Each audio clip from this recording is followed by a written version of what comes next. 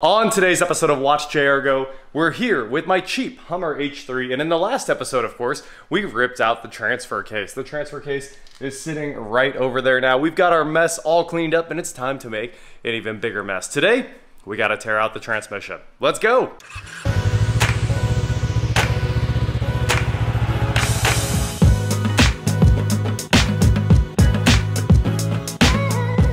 What is going on guys? I am Watch Go, and like I said, I'm here with my 2007 Hummer H3 powered by the i5, the Vortec 3700, and it has a major transmission problem. We're not quite sure what it is yet, but it is puking transmission fluid out of it. Now, I think it's the front pump seal or the front uh, input seal for the torque converter.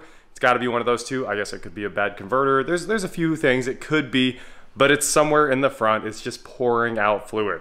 You can fill it up, it'll leak all of it out. So we gotta get the transmission out. It's time to get back underneath here, get the starter out, unbolt all the fun stuff, unhook the transmission harness, unhook those cooler lines, and then manhandle this transmission out of here. So I've got Eric heading over right now. So we have two people because obviously I have one jack.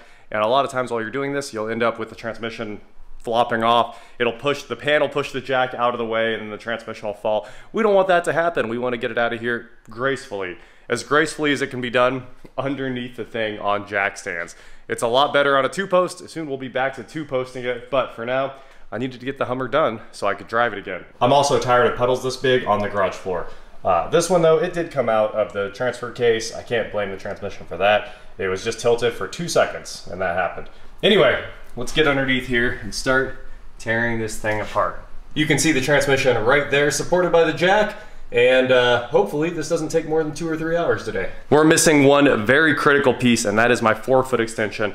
I forgot that I need to go get that and we might have to make an hour long trip just to go get that extension so we can get this wrapped up. And just like that, Eric's here. So we had to drive all the way to Derby to rob a bunch of the tools out of the real toolboxes here.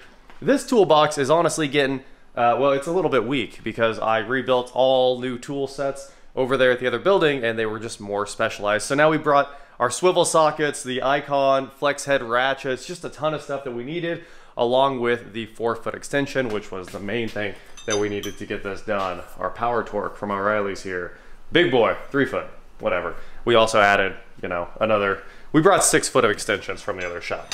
So now we're ready to pull a transmission. Let's get under here and get to work. Well, somebody jumped in here and changed the transmission and replaced the factory torque converter bolts with the wrong bolt. It's a 15 millimeter now, and it's supposed to be like a T50. And you can get your T50 through the inspection slot on the bottom that we looked at earlier, and you can just pull the bolts out, no problem.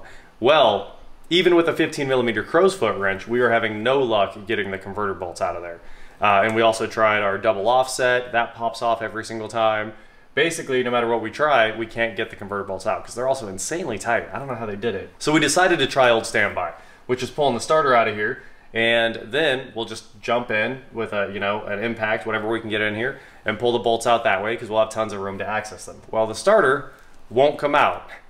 And now we know that to get the starter out, I, I mean, honestly, I've almost got it out. There's like one bolt holding it in, but I don't see anywhere that you can actually work that thing out of there because the suction line for the AC compressor is in the way. So what everybody does is pull the actual intake off the side of the engine, which looks impossible. Uh, it says that's like a five hour job. So we're leaving the intake alone uh, and we're gonna go back to trying to get the transmission out. I think what we're gonna try now is uh, the wrong way to do it, which is pulling the bell housing bolts, sliding it off of the converter, and then it'll open up our inspection slot so we can actually get a wrench in there and get the converter off. Putting it back should be easier and uh, the wrench won't be slipping off because the bolts aren't over tightened. So that's where we're going now. All the connectors are already off. That took like two seconds. Uh, we just have to get the cooler lines off the side of the transmission. And that's it, I think. I've got shifters off, parental cables off, um, the main electrical connectors off, and that just leaves uh, the vents off. So all we have left is the cooler lines. I'll get their little uh, plastic quick disconnect protectors slid off of there. We'll push in the clips and we should have those out too. And then we're just gonna leave it on the jack, slide the transmission backwards and it's off. Obviously, that's not the recommended way to do it. I don't like to pull the converter out that way, but it's the only thing we can do at this point because we're done with the starter. We gotta either take the whole car apart or, you know, do it this way. So those are our options. That's what we're gonna make happen.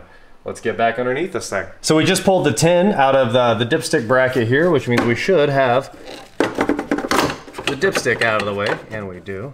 Hey, look at that, all the way out of the way, cool. All right, that's good to go. And I also just got the clips off the cooler lines, got the cooler lines out. They actually came out pretty well.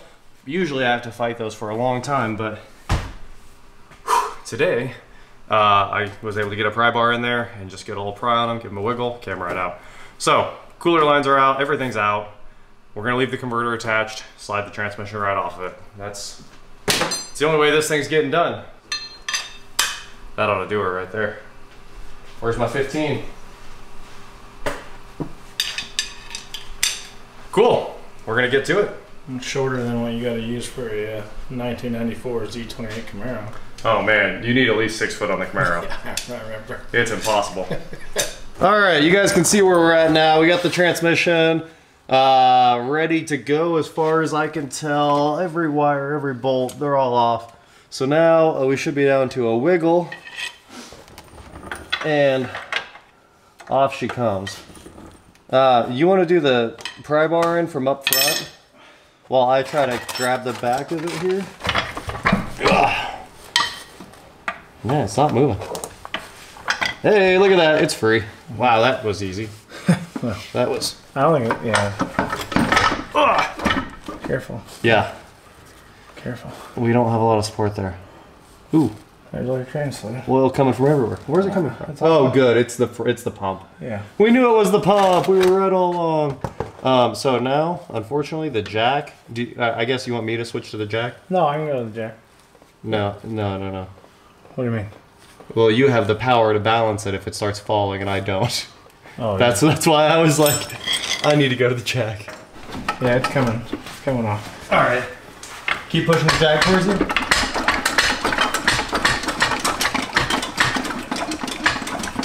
Okay. All right, hold on. Uh, if I put the pry bar in there, I might be able to. Well, it's all I'm having to do is push up and pull back, and it's Okay. coming out. Okay. Oh yeah, it's completely out. What on earth? Is it out? Uh, I mean, basically. I was I was just having to. It feels like it's. Oh, you're already. I see. You're hitting the. I can. I'm hitting the top tunnel. I. Yeah, it's hitting the tunnel. Here, hold on. There it goes. There it is. I was gonna say, Okay, if we're both under here, and then we move put that. Yeah. jack right there. Okay, she's There free. goes. Oh, she's pouring now. Just let it. Let go. Be able to hold it Uh oh. Oh, run away. Where'd the pan go? Oh boy. Sorry. Dropping jack. it's coming out. I was like, all the weights now here. Oh dear gosh. Can you move the pan at the same time? Oh, the jack's doing nothing. Oh, it's stuck on the shirt. The shirt's inside the jack. Okay, here. Ready? Come my way. Uh, three. Run from it. Just run away. There you go. Wow. I'm not sure the shop's ever been this destroyed. Yeah. But it's done. It's finally off. Yeah, it looks like it. Fluid everywhere. It looks like you can just pop the heater hose back on. Oh yeah, we will. Well, in a fun turn of events, something I've never had to deal with before. Uh, obviously, this taking the starter out is not the way to do this. So we started getting the converter bolts out. One was loose, one was medium tight, and one must have been put in with the world's tightest Loctite. So what we ended up doing, of course, was it's finally cold, and it was twisted off, cutting the torque converter out of the Hummer. Well, obviously, we're gonna get a new converter. That has to happen anyway. You figure if you put one of these in and make that old through the converter or something, you gotta be sure the new one's good. So we're putting a new converter in it. They'll want a core. They can have one that is uh, only has two lugs left on it because the third lug is gone. So that's going down and uh, the transmission is out now. We're gonna use that to throw the transmission on so we don't spill any more oil because obviously we've created a gigantic mess underneath this thing. But there's the converter, the old one that's going away. And uh, yeah, what a wild, wild job. This is by far the hardest, the hardest 4L60 drop I've ever had to mess with in my life. The transfer case was no big deal, but the transmission itself was actually a kind of a monster of a job. Uh, it just doesn't want to come out. And the uh, what the tunnel is a little too small, so the starter hump that's on the wrong side because this is a special bell housing. It's on the top instead of the bottom. Um, that doesn't want to come out. Uh, a lot of stuff fought us on the way here, but we did finally get it done. I wish I would have recorded Sawzalling the converter out, but it's done now. There's a lot more cleaning to do, but the transmission is all loaded up and ready to go over to the new transmission shop. I don't even know where it is, but we will figure all of that out tomorrow and get this thing dropped off to the builder. And uh, run to O'Reilly's, grab a converter, as you can see, and I'll clean up this mess. We should be, we should be cooking with gas after that. Let's get this out of there. Cool. Well, that is a terrible transmission pull on a Hummer H3. If you have to do this, hopefully you have the stock bolts and the flex plate still. If they're not there and somebody has changed it to a normal bolt instead of the T50s that are supposed to be in there, it's a disaster. Yeah, I don't know what happened with this thing. It's just, honestly, looking at the mess that we have here, it's just, uh, it, it was definitely done wrong. They went to the cheapest transmission shop. That's what Or happened. Bell housing bolts. Oh yes, two Real two bell housing bolts missing. Most of them were pretty loose. So a bunch of the tabs for stuff weren't in place. Like it was a bit of a mess. So I don't, I don't know that they followed torque specs. They just did the whole glug glug. They got they just put it in. Um, They put it in, and that was the end of that.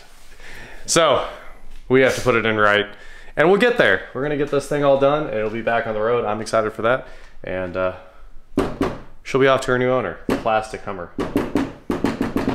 It has more support when the fender liner's in. family friend. Family friend. All right, we just dropped off the transmission. It's still gonna be about two weeks, maybe three weeks. Uh, we got some parts we're waiting on actually. Um, they actually, the transmission shop thinks the converter might have been cracked. And that's obviously uh, a very real possibility. The one that's in there is probably a mediocre rebuild. There's so many different like paint colors on that transmission that it, you know, we just don't know. We don't know how bad it is.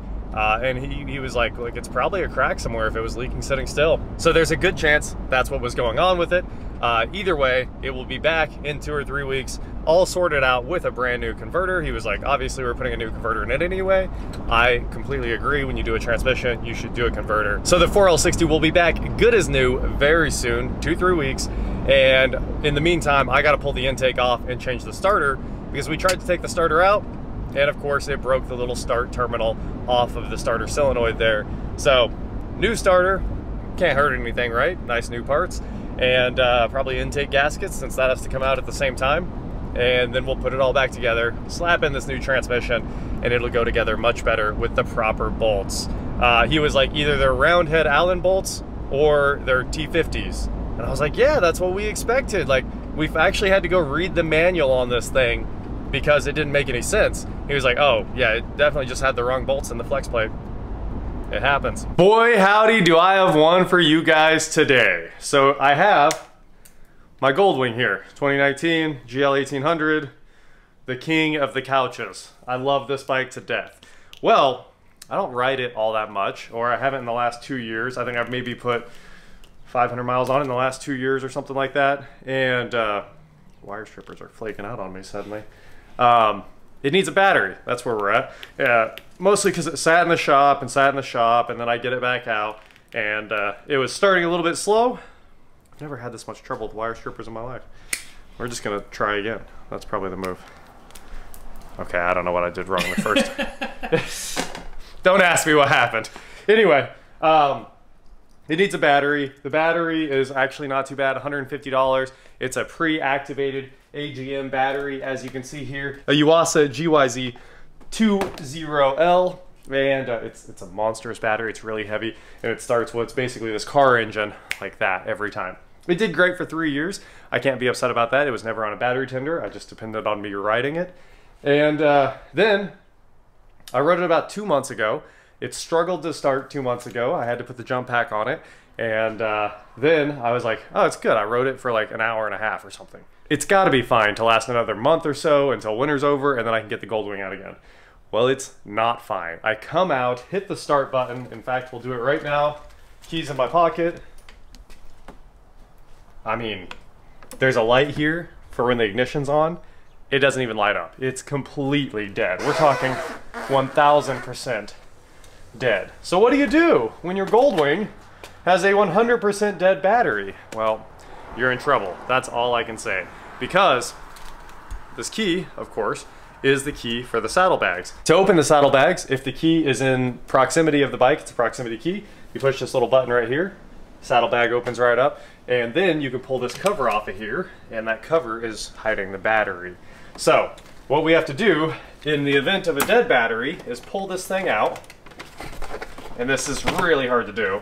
I, I did it yesterday, which is why it came off a little bit there. So, you can't pull this off because the cover is held on by the saddlebags, and if the saddlebag's not open, you're just out of luck. So what you have to do here is get your negative from your jump pack on this terminal here, and then you have to get a wire snaked back in there to give you enough power to open the saddlebag so you can take the cover off. I'm just real unhappy about this whole situation. There's no remote jump terminal on this. BMW figured this out and added remote jump terminals to their touring bike later because if you're gonna have electronic saddlebags, you have to have a way to get them open if the battery's dead. So anyway, we're gonna demonstrate this right now. I've got my jump pack. All right, so the negative one, you just snake it on in here like so. I think we've got a good connection. Try not to break your plastic. The It's not broken, the wrap is trash. The wrap here was overstretched a bit and uh, it's been lifting for years and then it just started finally coming apart there. And we'll add, we'll add our extension cable right here set this bad boy up to override mode.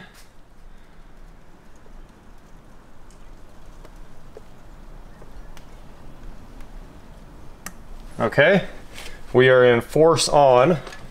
So whatever you do, be careful with this guy because it is live. All right, now let me in. I might not have a good ground yet. Yeah, I'm not getting any power up here.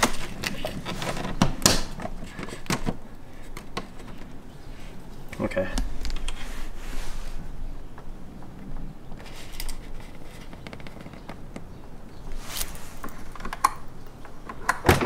There it is. We got in. Okay. Now we'll disconnect all of our nonsense here. Well, now you know how to get into your Goldwing in an emergency. I hope your battery never dies. This bike is very, very unhappy if its battery ever dies.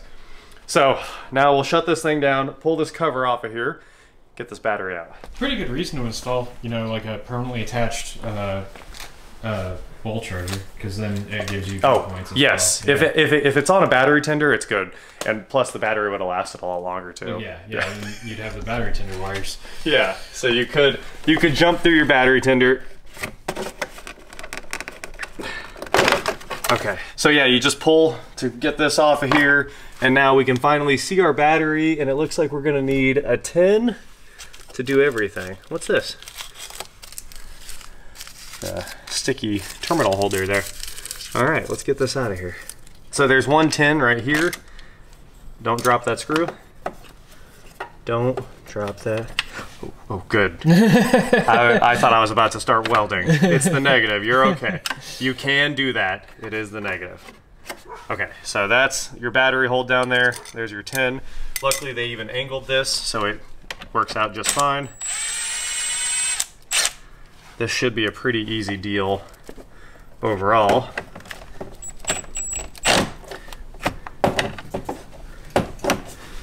You're gonna need a swivel or something if you wanna use a, an impact on that. Uh, or you can just use a straight bit screwdriver to get back in there. We're almost there. All right, we should have this thing out of here now. Pop that terminal a little bit farther off. I wonder how this thing comes out. It almost seems like it needs to be a seat pull, but there's room. It's Just not a lot of room. the rubber for the bike uh, positive insulator is kind of in the way. There we go. That was trash. I guess we have all new hardware, so we'll use it. This is an activated AGM battery just for the Goldwing. You can see it's literally the Honda one. The dealership said charge this thing to 100% before you install it because it's been sitting on the shelf for about a year, which is unfortunate. If it wasn't activated, it could sit forever, but eh, this should be fine. It is an AGM battery, and uh, they had it in stock, which is all that matters. I don't know why anyone replaces this hardware. It's like the old hardware is always fine. Single use only. Yeah, you can't, you cannot reuse this. yeah, the terminals are only one-sided, so the nut goes in and can't fall out like it normally does. Good going, Honda. Can't fall out. Yeah, I lost it already. Can't fall out.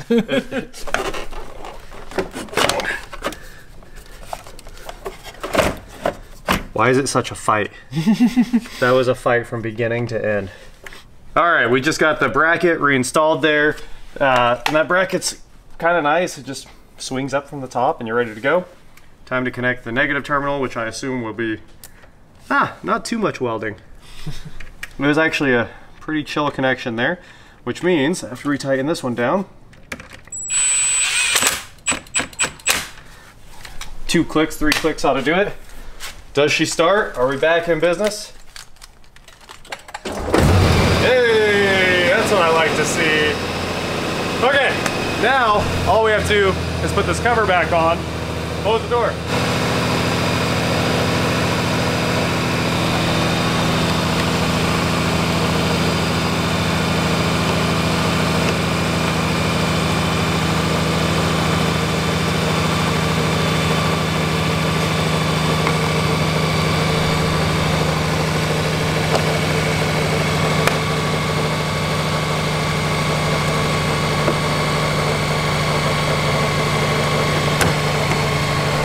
She's back together.